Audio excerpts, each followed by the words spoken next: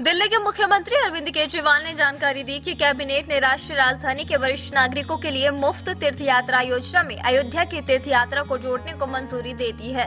इस दौरान केजरीवाल ने कहा कि मुख्यमंत्री तीर्थ यात्रा योजना जो कोविड के कारण रुकी हुई थी, उसे संभवतः एक महीने के भीतर फिर से शुरू कर दिया जाएगा। उन्होंने कहा कि अब अयोध्या को भी दिल्ली सरकार की तीर्थ यात्रा योजना में शामिल कर दिया गया है। वरिष्ठ नागरिक अपने साथ एक सदस्य और एक परिजन को भी ला सकते हैं। आवेदन जमा करने वाले कर्मचारी ने बताया कि सबसे ज़्यादा आवेदन पत्र अयोध्या मंदिर के लिए आ रहे हैं। लोगों में काफ़ी उत्साह है कि इस बार अयोध्या जाकर रामलला के दर्शन किए जाएँगे। वहीं कोरोना काल के प्रोटोकॉल को भी फॉलो किया जाएगा। जो भी व्यक्ति तीर्थ यात्रा के लिए जाएगा, उसके पास दोनों डोज की रिपोर्ट होनी चाहिए और एक स्वास्थ्य को लेकर किसी भी एमबीबीएस डॉक्टर ऐसी सर्टिफिकेट होना चाहिए। फ़िलहाल अयोध्या का रूट ओपन किया है इन्होंने। आगे भी और रूट्स ओपन होंगे तो हमारे लिए, हमने अभी तक अयोध्या गए नहीं है कभी, इसलिए हमें बहुत अच्छा लग रहा है कि हमें मौका मिलेगा इसमें जाने का। बहुत ज़्यादा हम उत्साहित हैं रामलला के दर्शन करने के लिए। हम अभी तक अपनी मतलब अभी तक की लाइफ में हम जा नहीं पाए थे अयोध्या, इसलिए हमें बहुत ही उत्साह टूर लगेगा ये।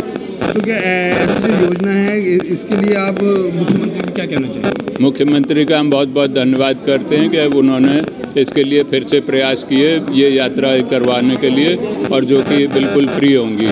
हम अयोध्या दर्शन के लिए जा रहे हैं, नागेश्वर वगैरह। हमें पता लगा नेट के थ्रू, इनके कार्यकर्ताओं के थ्रू तो हमने फॉर्म भरा है।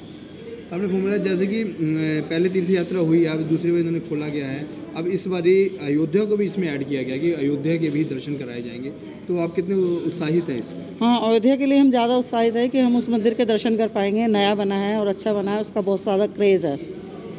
बाकी जगह तो वैष्णो देवी या जो बाकी तीर्थ हैं, वहाँ हम लोग अपने से भी जा चुके हैं। और अयोध्या के नए दर्शन की वजह से हमें ज़्यादा अच्छा लग रहा है। ऐसी यात्राओं का जो लाभ है, वो सीनियर सिटीजन को मिलता है तो इससे आप क्या कहना चाहेंगे? सीनियर सिटीजन्स के लिए ये फ़ायदा है इसका कि भाई जैसे लोग नहीं जा पाते हैं घर से, कोई लोग उनके साथ नहीं होते तो सीनियर सिटीजन्स को मौका मिलता है चांस मिलता है कि वो अपने साथ साथ वालों के, अपने एरिया वालों के लोगों के साथ जा करके दर्शन कराएँ।